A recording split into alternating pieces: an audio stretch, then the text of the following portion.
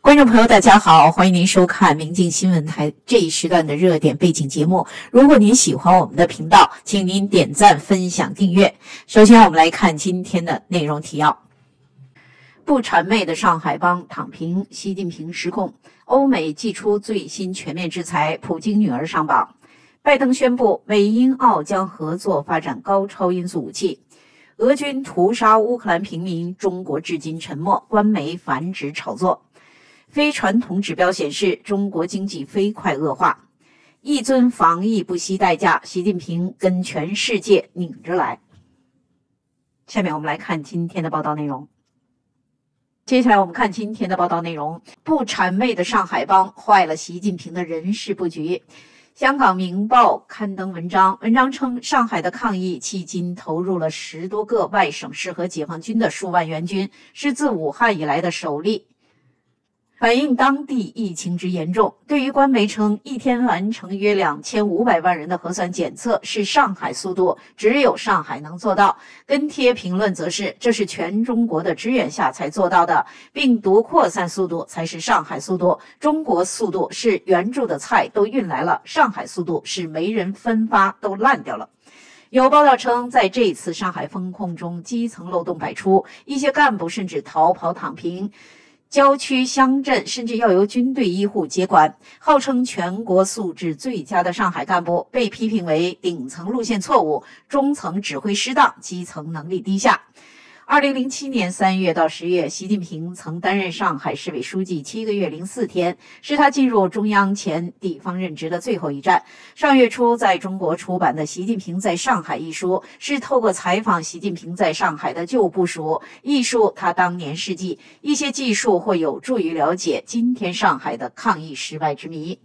据时任上海市委组织部长沈红光记忆，习近平当年用“不粘人”三个字形容上海干部，意思就是从来不会谄媚的贴近领导、拼命巴结领导，而是比较务实。其实，这个“不粘人”的评价，应是习近平与之前任职的福建、浙江官员比较后的感慨。在闽浙两地，他身边总有几个死党小兄弟。上海的干部较为清高，不屑于做领导的跟屁虫，但也反映当时他在上海未能真正与当地干部打成一片。文革后的上海官场，历任书记多系四新四军出身或江浙户籍人士，形成了根深蒂固的本土意识。又受市民社会熏陶影响，虽然务实，却精于计算，担当不足。习近平到上海时，正逢陈良宇落马后，上海官场因社保基金案人心惶惶，官场多数对他还是敬而远之，除了第二把手韩正，恐怕也没人敢粘他。据沈红光称，习近平到沪之后，很快就向当地一些机密开刀，如上海很多干部身兼两职，既保留干部身份，又是国企高层，拿国企高薪，享公务员退休待遇。习近平明确要求，要挣钱就不要想当官儿。要当党政领导干部，就不要考虑挣钱。时任上海市委办公厅副主任朱继华的艺术，当时全国卫星电视台中，唯有上海东方卫视不转播中央电视台的新闻联播。习近平要求必须转播，因为新闻联播是代表中央的声音。不过，为了笼络本土势力，习近平还是做出了一些妥协，如对涉及陈良宇案的社保资金案干部人事安排，他说，纪委专案组无明确定论的干部该怎么安排就怎么安排。对于陈良宇主持起草的党代会报告初稿，他也未推倒重来，反而强调不因人废言。上海现任书记李强是习近平在浙江任职时的大管家，这次疫情却面临危机，令人想起习近平在上海说过的一句话：“思想水平并不会随着职位升迁而自动提高，心胸境界也不会跟着职务提拔而上扬。”好，我们继续下面的报道：欧美祭出第五波全面制裁，普京女儿上榜。路透社报道，美国与七国集团及欧盟将宣布最新一轮对俄罗斯的制裁措施，对其在乌克兰犯下的暴行惩罚俄罗斯政府。措施包括加大对俄罗斯金融机构和国有企业的限制，削弱俄罗斯国家权力的关键工具，造成严重而直接的经济损害，并追究为总统普京的战争提供资金的责任。知情人士说，普京的女儿在拟议的制裁名单中，名单上还包括俄罗斯政府官员、寡头及其家人等。消息人士认为，新一轮制裁将令俄罗斯付出巨大代价，进一步走上经济、金融及技术孤立的道路。据《华尔街日报》报道，俄罗斯联邦储蓄银行可能是目标银行之一。较早前，欧盟委员会提议对俄罗斯实施新的制裁，包括禁止俄罗斯进口煤炭，以及禁止俄罗斯船只进入欧盟港口等等。委员会主席冯德莱恩表示，正研究禁止从俄罗斯进口石油。受此消息影响，卢布对美元走软。在俄军撤离之后，上周末在基辅西北郊的布查镇发现了平民尸体，有的在街上，有的在乱葬岗内。美国和欧洲国家将在本周对俄罗斯采取进一步制裁。同时，美国国家安全顾问沙利文表示，乌克兰将会得到更多的军事援助。布查镇位于基辅市中心西北三十公里处，从二月二十七号起被俄罗斯军队占领，一个多月以来一直无法进入。俄军上周末撤退后，村里发现了数百具尸体，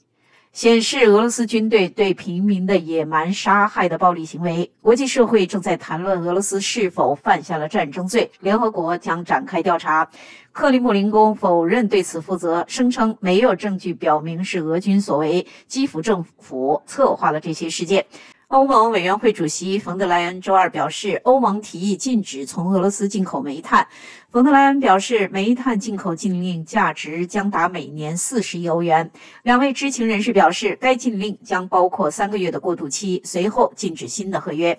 冯德莱恩表示，欧盟也将。对俄罗斯石油采取行动进行辩论，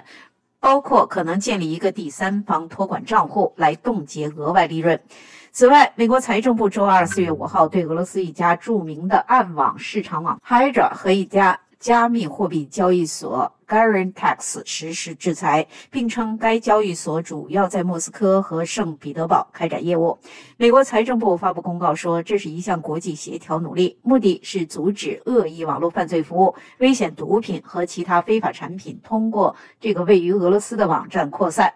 针对 Hydra 的行动是由美国司法部、联邦调查局、缉毒署、国内税收局刑事调查部门和国土安全调查部门联合开展的一项合作行动，与德国联邦刑事警察的国际合作加强了这一行动。他们今天关闭了 Hydra 在德国的服务器，并缴获了价值两千五百万美元的比特币。拜登宣布，美英澳将合作发展高超音速武器。据英国《金融时报》四月五号报道，美国、英国和澳大利亚将合作开发高超音速武器，扩大三边安全协议即奥库斯协议的合作范围，旨在帮助华盛顿及其盟友应对中国的快速军事扩张。报道引述三位知情人士的话透露，美国总统拜登正准备与澳大利亚总理莫里森和英国首相约翰逊公布就三国去年达成的奥库斯协议的这一最新发展。其中一位知情人士说，最早可能在今天周二，华盛顿宣布这一消息。白宫没有立即回应评论请求。报道指，推动合作开发高超音速武器，标志着澳英美三国为应对中国在印太地区的崛起而加强合作的最新努力。去年，这三个国家签署了包括由美国和英国帮助澳大利亚获得核动力潜艇的多方面军事和技术协议，即奥库斯协议。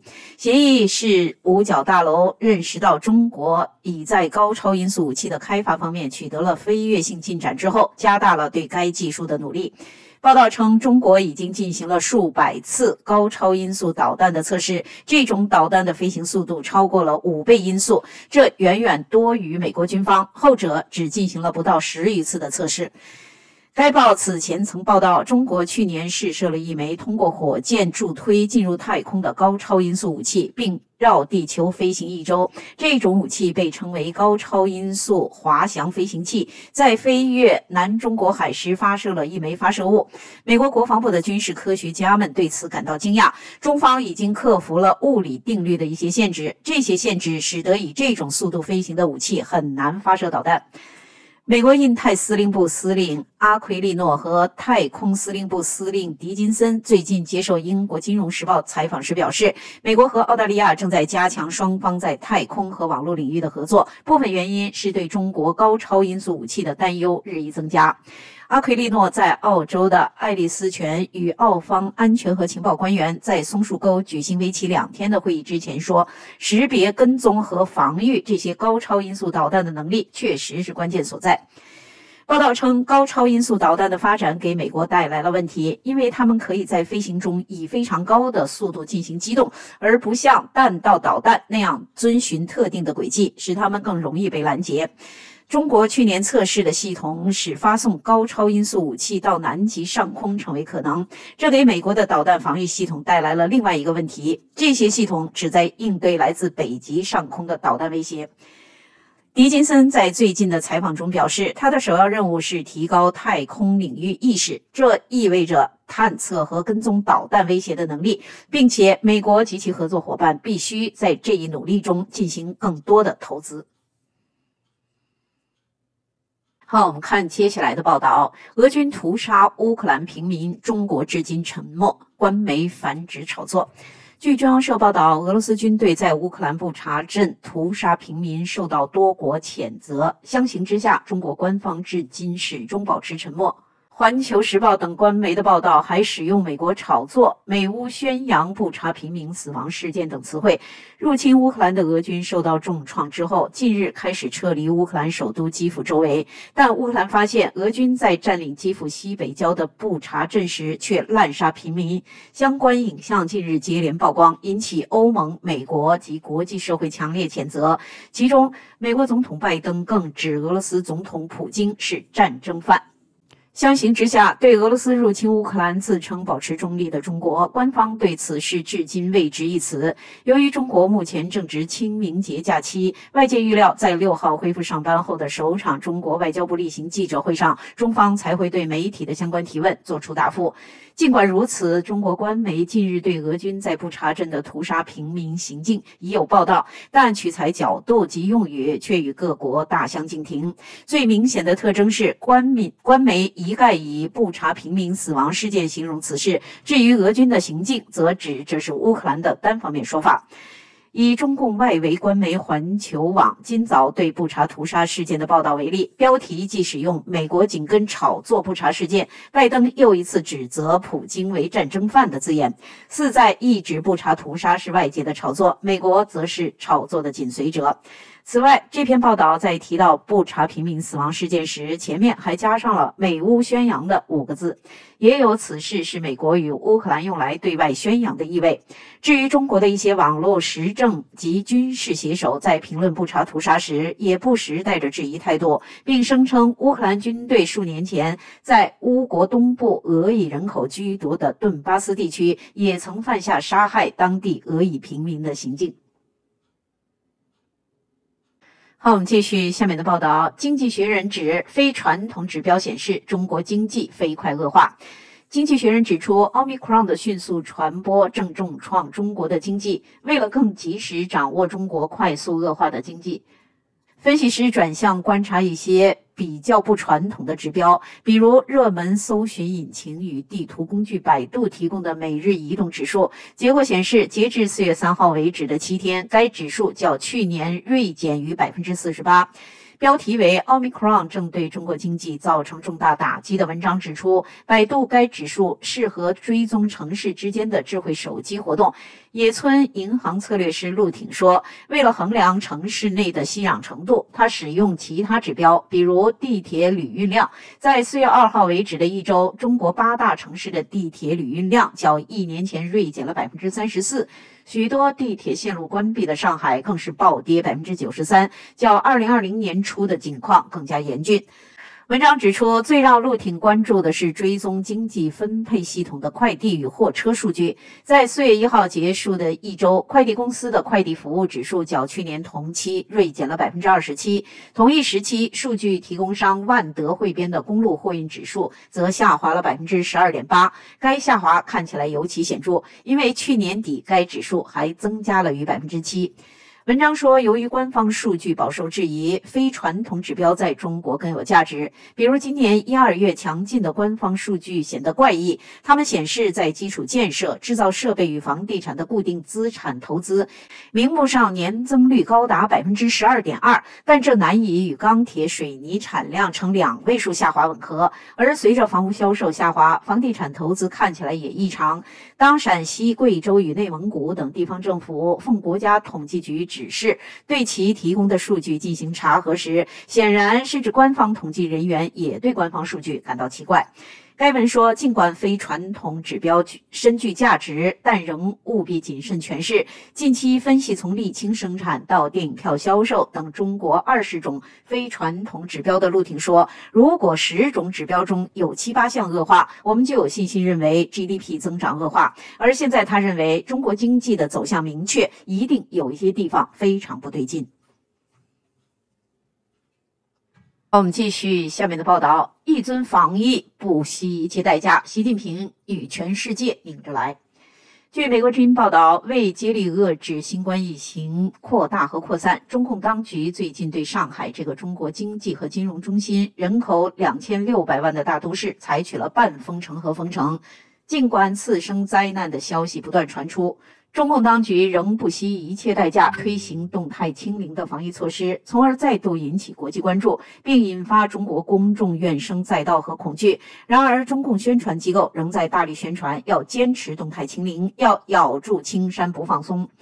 四月三号，互联网用户可以看到这样一则求助贴：“小猫快饿死，主人阳性确诊，猫咪已被独自锁在家里八天了，无水无粮，即将饿死。”这则求助贴跟中国网民先前看到的来自遭受俄罗斯军事进攻的乌克兰的图片形成了鲜明的对照。许多网民感叹说：“看到乌克兰人在战争危难中还可以带着儿女和宠物疏散到他国的景象，令人感动和羡慕。”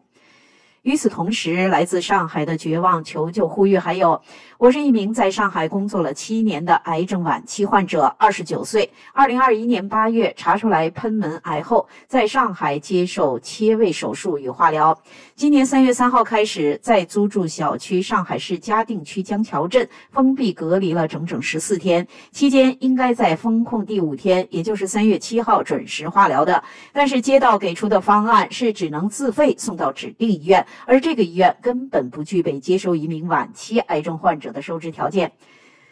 自上海从三月二十八号开始实行所谓的鸳鸯锅式的封城以来，来自上海的各种各样的绝望呼救不断从中共当局全力维持的信息封锁墙中透露了出来。这种求救呼吁最终结果如何，中国公众常常难以得悉，但他们可以清楚地看到，中共网络舆论管制当局不断删除这样的求救呼吁。在中共当局推行的防疫政策之下，未经当局批准，病人寻求救命的医疗或医生治病救人，被认为是不可容忍的犯罪行为，会受到严厉惩罚。这种情况导致医务人员对危重病人爱莫能助，不敢救治。早在二零二零年年初，武汉封城时，以疫情防控为名，禁止或阻止病人求医和医生治病的问题，就曾经引起了中国公众的愤慨和恐惧。批评者指出，两年多来，这种中国特色防疫不见改善，反而变本加厉。四月四号，中国一些网民冒着被删帖消耗，甚至被抓捕的危险，传送一则消息：黑龙江省脑外科医生，二零二零年援助湖北抗疫的英雄人物石军，因为救治一名危重病人被抓捕，长时间审讯。被施以戴手铐脚镣接受医学检查的侮辱，当局指控他造成损失上亿元。时军不堪凌辱，在羁押期间自杀，身后撇下七十八岁的老母和两个十五岁的双胞胎女儿。截至目前，中国官方及其控制下的媒体对这一消息没有证实，也没有否认。观察人士指出，中国这种不讲基本人道的防疫措施，包括有病不许救治，以防疫为名将未成年人甚至婴儿强行与父母分隔开来，令父母担忧孩子的生死安危；以防疫为名肆意杀死宠物等等，这些中国特色做法令国际社会深感不安。在上海实行防疫封城之际，法国驻上海总领事馆三月三十一号代表欧洲联盟二十二个成员国，要求上海当局以尊重基本人道的方式对待他们的侨民，确保不能以任何理由将其侨民与自己的孩子强行分离，不要对没有被感染的侨民实行集中隔离。在封控期间，其侨民在需要时能够得到及时有效的紧急医疗救助，被集中隔离人员家中的宠物得到定期喂。样，现在还不清楚上海当局对欧盟的上述要求做出了怎样的回应。当局是采取突然袭击的方式宣布上海封城的。封城前一个星期，上海当局还大力宣传不要相信封城谣言，并抓捕了两个所谓的谣言制造和传播者。突如其来的封城使众多市民没有准备，在被封的成千上万的民众缺乏蔬菜之际，上海郊区的菜农却因为疫情防控运输被阻，只能眼看着辛苦种出的蔬菜烂掉。搜狐新闻报道说，三月二十九号，在上海浦东书院镇李雪村的农田里，农户袁大哥和妻子正从黄瓜藤上摘下刚刚成熟的黄瓜，但袁大哥开心不起来，反而更显焦虑。如今肥都湿了，蔬菜也成熟了，但是因为疫情管控的原因，很多菜场都关停了。之前合作的几家，原来每天都会准时来大棚里取菜，现在只能看着很多蔬菜烂掉，却运不出去。袁大哥说：“蔬菜怎么运出去，是袁大哥所在的上海书院果蔬种植专业合作社的农户们连日来最发愁的问题。”合作社社长倪先生说：“微信群里订单爆仓了，但是每天五辆私家车，最多也就送出去几百份。”在中国当局宣传各地防疫措施的必要性和按计划有条不紊进行之际，中国民间的报告则是截然不同的消息。各地物流崩溃，恐将引发行业巨震，形势严峻不可想象。物流司机们的噩梦：开着开着高速突然关闭，好不容易下了高速，国道突然封路，到了门口，当地防疫不让你进去，直接喊你掉头回去。回去之后，送过的地方突发疫情，需要被迫隔离。美国南卡罗来纳大学艾肯商学院教授谢田对美国之音表示：“中共当局可以任意把人圈起来，圈在一个小区、一个剧院、一栋楼里，甚至还有人被圈在了火葬场，不管被圈封的人的死活。”他说，他们实行清零政策的问题，一是非常粗暴的践踏人权，同时也向国际社会甩锅，显示你看我们实行这么严厉的政策，所以我们的国家不可能出现问题，有什么问题都已经解决。谢田在这里所指的中国受到国际社会诟病，并为此试图甩锅的问题，主要有两个：一是国际间许多观察家认为，中国当局当初刻意隐瞒疫情，导致新冠疫情在中国大爆发，并导致世界性灾难；而刻意隐瞒的指令来自习近平。再者，中国当局全力阻止调查新冠病毒是否来自武汉病毒研究所泄露。澳洲悉尼科技大学中国学教授冯崇义说：“新冠病毒在世界各国已经流行了两年，各国在应对疫情危害方面已经积累了很多尽力尊重个人自由和尊严、尽力避免造成次生灾害的防疫经验，但中国当局却一意孤行，坚持推行人造次生灾害与疫情灾害本身并驾齐驱，甚至有过之的防疫政策。尽管这种政策造成了广泛的灾难。”冯崇义认为，中国之所以坚持这种灾难性的防疫政策，主要是因为这个政策是来自于定一一尊、一锤定音的中共领袖习近平，而习近平坚持这种破产的政策，并非是因为不了解实情。在批评人士批评以习近平为首的中共当局把防疫这样的科学问题当作政治和意识形态问题来处理，以政治压倒科学、压倒民生和经济之际，中国官方媒体的宣传似乎在迎合批评者的这种批评。早些时候，官方的深圳特区报。发表署名文章：疫情当前是动态清零还是与病毒共存？如何选择？表面上看是抗疫的理念之争、策略之争、方法之争，本质上则是制度之争、国力之争、治理能力之争，甚至是文明之争。在中国当局采取造成普遍和严重的次生灾害和人道灾害的防疫措施，仍未能制止疫情扩大之际，中共中央机关报《人民日报》三月二十八号发表文章称，中国是世界级的防疫优等生。中共权威新新闻宣传机构新华社三月三十号发表题为“坚持动态清零不放松”的长篇书评，继续宣传中共领袖习近平亲自指挥、亲自部署中国的防疫。三月十七号，习近平总书记主持召开中央政治局常委会议，强调要始终坚持人民至上、生命至上，坚持科学精准动态清零，尽快遏制疫情扩散蔓延势头，进一步为疫情防控工作指明方。向，但有中国网民对动态清零的防疫政策发表了截然不同的看法。啥事儿都要跟所有人拧着来，外事拧着来，内事拧着来，跟常识拧着来，跟科学拧着来，跟市场拧着来，跟文明圈子拧着来。当个独树一帜、与众不同的憨批，就这么快乐吗？